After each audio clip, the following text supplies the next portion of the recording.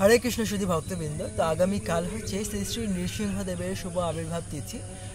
ভক্ত বৎসল এবং ভক্ত রক্ষক হচ্ছে শ্রী শ্রী নৃসিংহদেব ওনার অশেষ কৃপার ফলে আমাদের সমস্ত ভক্তিতে বাধা বিঘ্ন দূর হয়ে যায়। তাই আমাদের সকল ভক্তদের উচিত নৃসিংহদেবের জন্য নৃসিংহদেবের সন্তুষ্টি বিধানের জন্য উপবাস করা এবং এই ব্রত পালন করা। তো সহজভাবে আপনারা এই ব্রত পালন করতে পারবেন। তো নৃসিংহদেবের আবির্ভাব হচ্ছে সন্ধ্যার সময়।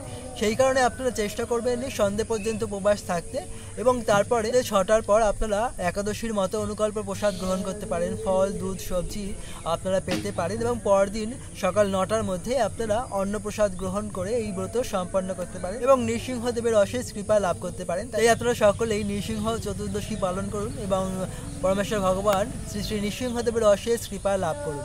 অসুররাজ হিরণ্যকশিপুর এবং ওনার সন্তান পরম ভক্ত প্রহ্লাদ। আমরা দেখেছি যেহেতু প্রহ্লাদ মহারাজ পরম বিষ্ণু ভক্ত ছিলেন বলে হিরণ্যকশিপু কতভাবে প্রহ্লাদ মহারাজকে মারার চেষ্টা করেছিলেন, কখনো খাবারের মধ্যে বিষ দিয়ে, কখনো পাহাড় থেকে ফেলে দিয়ে এবং কখনো ওনার বোন হোলিকার মাধ্যমে, হোলিকার এক, একটি বর ছিল, তিনি আগুনের মধ্যে প্রবেশ করলে ওনার কোনো ক্ষতি হবে না, কিন্তু কিন্তু ওনার সঙ্গে যে প্রবেশ করবে, সে পুড়ে ছাই হয়ে যাবে। কিন্তু প্রহ্লাদ মহারাজ যেহেতু হচ্ছেন ভক্ত, সেই কারণে তিনি রক্ষা পেলেন, কিন্তু হোলিকা তিনি পুড়ে ছাই হয়ে গেলেন। এভাবেই আমরা দেখেছি কতভাবে হিরণ্যকশিপু প্রহ্লাদ মহারাজকে মারবার চেষ্টা করেছেন, কিন্তু যেহেতু তিনি হচ্ছেন পরম ভক্ত, সেই কারণে ভগবান কতভাবে প্রহ্লাদ মহারাজকে রক্ষা করেছেন। এবং পরবর্তীকালে যখন হিরণ্যকশিপু প্রহ্লাদ মহারাজকে ডেকে বললেন যে, তোমার ভগবান কোথায় আছে? আজ তোমার শেষ দিন, তোমার ভগবান কোথায় আছে? ভগবান কি তোমাকে এসে রক্ষা করতে পারবে? তখন প্রহ্লাদ মহারাজ বললেন হ্যাঁ আমার ভগবান সর্বত্র আছে, তিনি আমাকে রক্ষা করবেন। তখন হিরণ্যকশিপু বললেন, এই পিলারের মধ্যে কি তোমার ভগবান আছে? তখন প্রহ্লাদ মহারাজ বললেন যে হ্যাঁ এই পিলারের মধ্যেও ভগবান আছেন।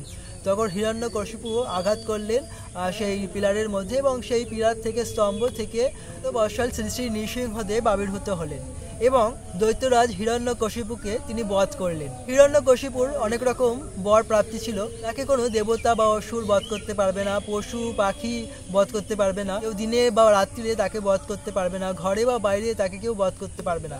এরকমই নানা রকম তার বর ছিল, কিন্তু কিন্তু নৃসিংহদেব সেই সমস্ত বর প্রত্যাখ্যান করে ঘরের চৌকাটের মধ্যে তাকে কোলে তুলে নিয়ে তার বধের সমস্ত কারণ তাকে জানিয়ে তারপরে তাকে বধ করলেন। এভাবেই শ্রী শ্রী নৃসিংহদেব ভক্ত বর্ষল সকলকে রক্ষা করেন এবং আমাদের ভক্তির সমস্ত বাধা বিপত্তি দূর করেন। তাই আমাদের সকলেরই উচিত শ্রী শ্রী নৃসিংহদেবের সন্তুষ্টি বিধানের জন্য নৃসিংহ চতুর্দশী পালন করা এবং শ্রী শ্রী নৃসিংহদেবের অশেষ কৃপা লাভ করা। ধন্যবাদ, আপনারা চেষ্টা করবেন নৃসিংহ চতুর্দশী তিথিতে পরমেশ্বর ভগবান নৃসিংহদেবের এই লীলা কথা শ্রবণ করতে এবং অন্য কেউ শ্রবণ করাতে। সকলেই চেষ্টা করবেন এই চতুর্দশী পালন করতে। আপনাদের কোনো প্রশ্ন থাকলে অবশ্যই কমেন্টে আপনারা জানান এবং আমাদের গৌনিতাই ব্লগস ইউটিউব চ্যানেলে আমরা ব্লগিং ভিডিও আপলোড করি, আপনারা সেটি দেখতে পারেন এবং চ্যানেলটি সাবস্ক্রাইব করতে পারেন। আপনারা যারা নতুন আমাদের ভিডিওটি দেখছেন, অবশ্যই আপনাদের এই চ্যানেলটি সাবস্ক্রাইব করে নোটিফিকেশান বেল অন করে নিন। এরকমই নানারকম ভক্তিমূলক ভিডিও পেতে। ধন্যবাদ, সবাই সুস্থ থাকবেন, ভালো থাকবেন। হরে Krishna. Sila Prabhupada! Vamos, Premada.